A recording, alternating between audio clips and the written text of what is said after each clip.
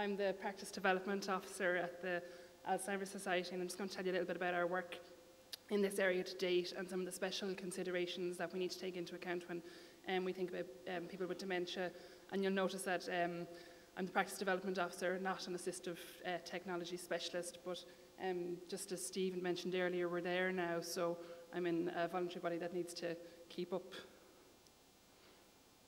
So, Ireland is certainly ageing, and um, as we age, our risk of um, dementia does increase. Um, however, it's not necessarily a part of ageing. Um, we have 44,000 people in Ireland, um, around 44,000 people in Ireland with dementia. Currently, about 50,000 carers involved in their care. Um, we'll see the numbers double by 2031. Um, so dementia will affect about 1 in 20 people over 65, uh, 1 in 4 people over 80, and not to forget the younger onset dementia, about 4,000 people in Ireland um, with younger onset dementia um, under 65. So our strategic priorities um, include to, to, 2013 to expand um, our range and number of dementia services uh, for existing service users and those awaiting our services. And uh, we want to promote new service models based on innovative practice and comprehensive um, evaluation. So as the general older population wishes to remain living in their own home, um, people with dementia also would like to remain living in their own homes. And um, yes, it's government policy to encourage this, um, but help is required. Um, so that could be in the form of uh, support for the carers, um, home help, daycare, respite, um, but of course also assistive technology can help us in this area.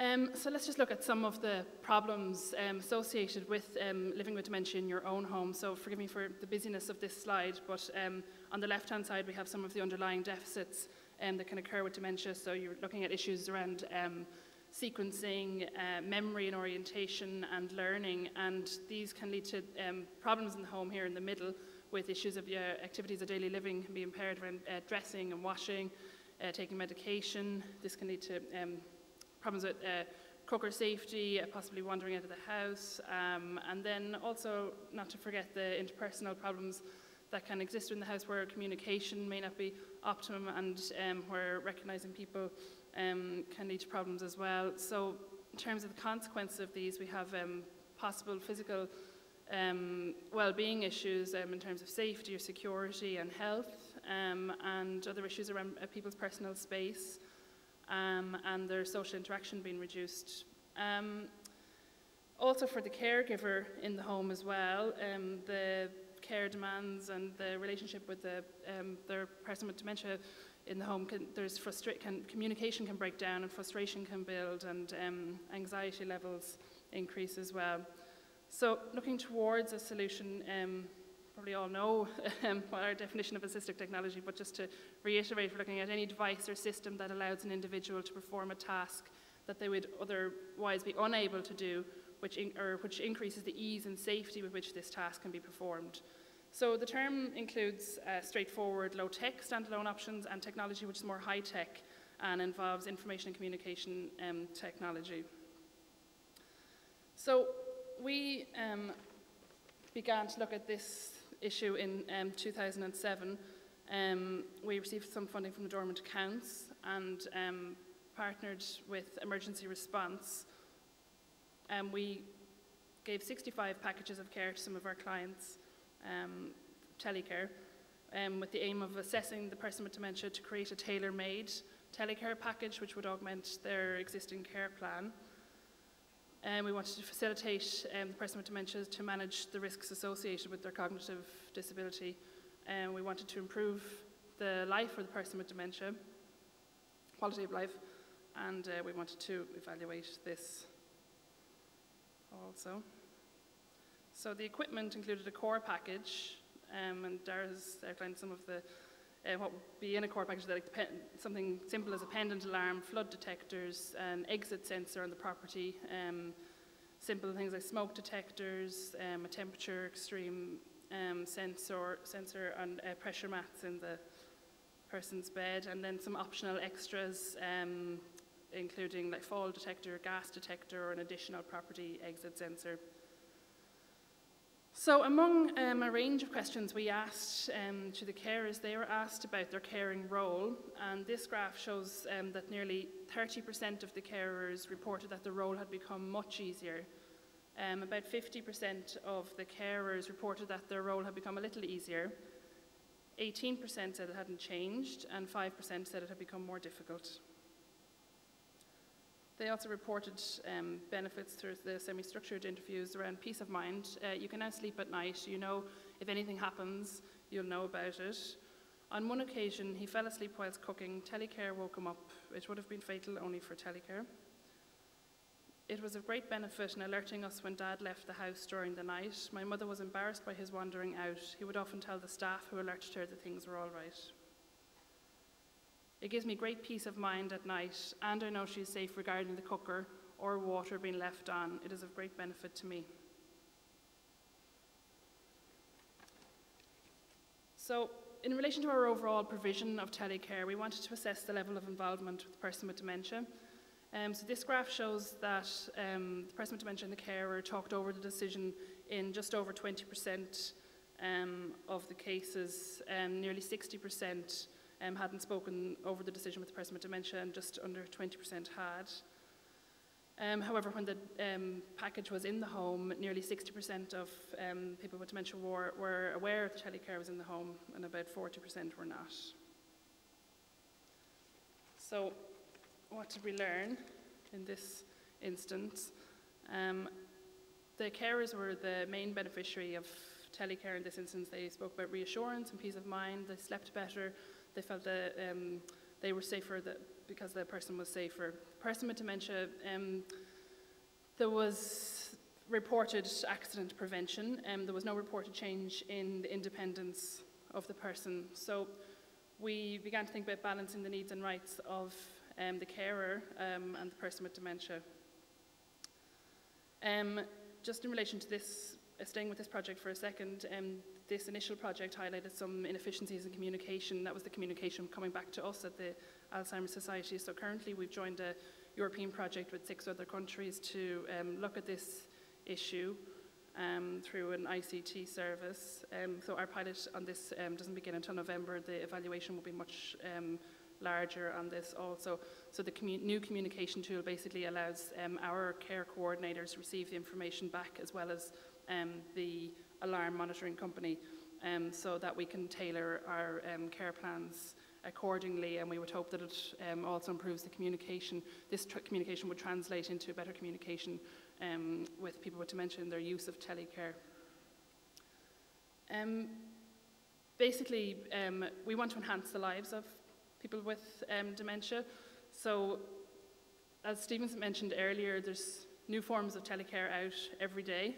Um, there are mostly pros, but there are some cons, um, and we need to consider the ethical considerations, particularly in relation to people with dementia.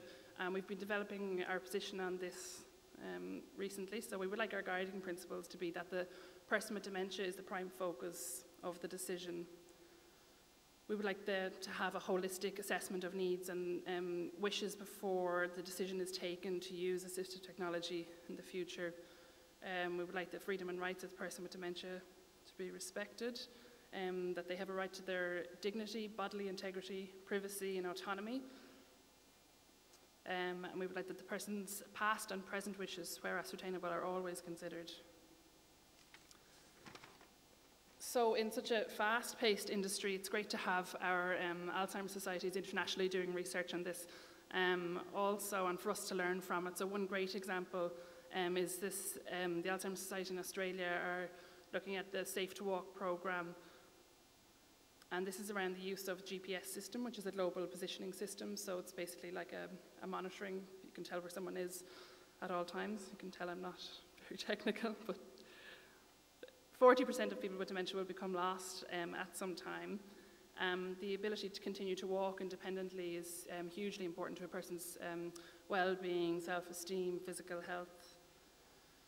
And obviously becoming lost can be very traumatic for the person themselves, the carer and their family. Um, but through the use of the Safe to Walk device, it's envisaged that um, the people with dementia can maintain um, their independence and that the carer can also have peace of mind. So there's a huge, there's an ethical debate around the use of GPS for people living with dementia. Um, and obviously the Alzheimer's Society in Australia had to consider um, these ethical considerations as well, and they did so under the headings of consent and constraint and con confidentiality. So really the ethical debate around the use of a GPS system is, um, does the device deny the opportunity for personal space or autonomy, or does it provide um, a safe opportunity for the continued pursuit of le leisure activities such as walking? Um, so in their research, they have found to date um, also mentioned that Stirling uh, University in Scotland are looking at a safe walking programme as well, and we're in touch with them about it. So to date, uh, the research participants haven't expressed any eth ethical concerns. They've welcomed the use of the GPS location device. Um, they viewed it as a more person-centred solution um, to a difficult problem. They reported that allowing people to live with dementia the freedom to walk independently and to continue to carry out activities they have previously enjoyed can lead to reduction in any build-up of frustration, a decreased likelihood of withdrawal or loss of self-esteem or self-worth, um, and even um, increased inclusion in society, whilst at the same time reducing the risk um, of becoming lost and harmed.